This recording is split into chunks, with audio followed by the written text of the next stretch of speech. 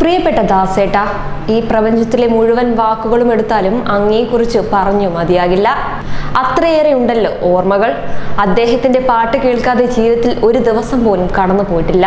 ഇന്നലെയും ഇന്നും അങ്ങനെയായിരുന്നു. ഇനി നാളെയും ആ പാട്ടുകൾ കൂടെ തന്നെ കാണും. അദ്ദേഹത്തെക്കുറിച്ച് എത്ര പറഞ്ഞാലും അധികമാവില്ല. എന്റെയും ചിത്രയുടെയും സംഗീത ജീവിതത്തിന്റെ തുടക്കം മുതൽ ദാസേട്ടനുണ്ടല്ലോ. ത്യാഗവും സമർപ്പണവും നിറഞ്ഞ മറ്റാർക്കും സങ്കല്പിക്കാൻ പോലും കഴിയാത്ത സംഗീത ജീവിതമാണ് അദ്ദേഹത്തിന്റെത് ദാസേട്ടന്റെ കൂടെ കുറച്ചു നേരം നിന്ന് കഴിഞ്ഞാൽ കുറ്റബോധം കാരണം മനസ്സിലൊരു വിങ്ങൽ വരും. നമ്മൾ എന്തിനാണ് ഇങ്ങനെ ജീവിക്കുന്നതെന്ന ചിന്ത കൊണ്ടാണത്. ആ തോന്നൽ കൂടുമ്പോൾ അവിടെ നിന്ന് ഓടിപ്പോകാനാണ് തോന്നുക. അങ്ങനെയാണ് പാട്ടിനു വേണ്ടി അദ്ദേഹം ജീവിതത്തെ മാറ്റിയെടുത്തിരിക്കുന്നത്. അത്ര സമർപ്പണമുള്ള മറ്റാരും തന്നെ നമുക്കില്ല. എന്തൊരു ആഗ്രഹങ്ങളുണ്ട് നമ്മൾ ഓരോരുത്തർക്കും. ദാസേട്ടന് സംഗീതം മാത്രമാണ് എല്ലാം എല്ലാം എപ്പോൾ കണ്ടാലും പത്ത് പുസ്തകമെങ്കിലും അദ്ദേഹത്തിന്റെ ചുറ്റിലും ഉണ്ടാകും ഇവിടെ ശ്യാമശാസ്ത്രി അവിടെ ചെമ്പൈ സ്വാമി അപ്പുറത്ത് മുത്തുസ്വാമി ദീക്ഷിതർ.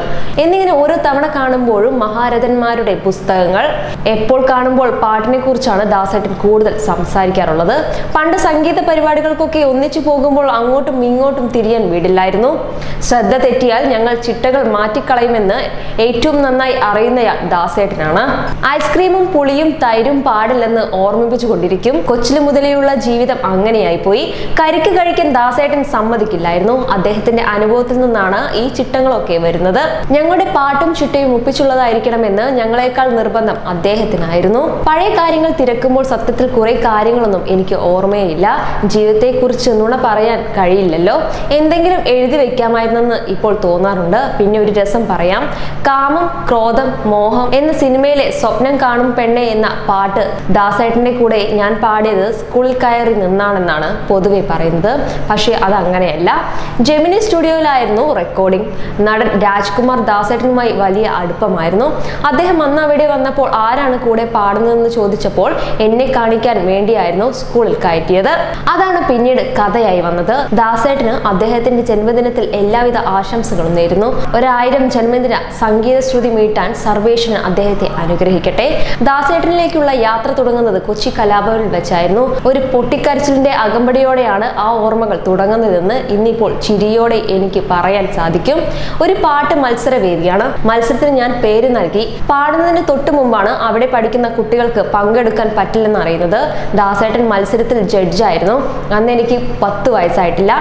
ഒറ്റ കരച്ചിലായിരുന്നു ഞാൻ. ദാസേട്ടന്റെ മുന്നിൽ പാടിയില്ലല്ലോ എന്ന സങ്കടമാണ് കരച്ചിലിന്റെ രൂപത്തിൽ പുറത്തേക്ക് വന്നത്.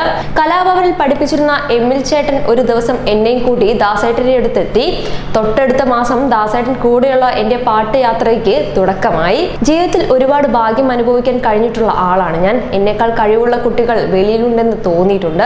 അവർക്ക് കിട്ടാത്ത ഭാഗ്യമാണ് എനിക്ക് കിട്ടിയത്. അതിൽ ദാസേട്ടന്റെ സ്നേഹവും കരുതലുമുണ്ട് ഒരു കാര്യം ചെയ്യണമെങ്കിൽ നൂറ് ശതമാനം ആത്മാർത്ഥത നൽകുന്ന കൂട്ടത്തിലാണ് ഞാൻ ആ പാഠം ഞാൻ കണ്ടുപഠിച്ചതും ദാസേട്ടന്റെ ജീവിതത്തിൽ നിന്നാണ് മലയാളികളുടെ സ്വകാര്യ അഹങ്കാരമായ ഗാനഗന്ധർവന ഞങ്ങളുടെ ഹൃദയം നിറഞ്ഞ ജന്മദിനാശംസകൾ You are watching You are watching You're watching me And you're watching me on, on metromatney.com. on metromatney.com. metromatney.com. metromatney.com. subscribe for more videos subscribe for more videos Subscribe here for more videos. Subscribe now. Thank you.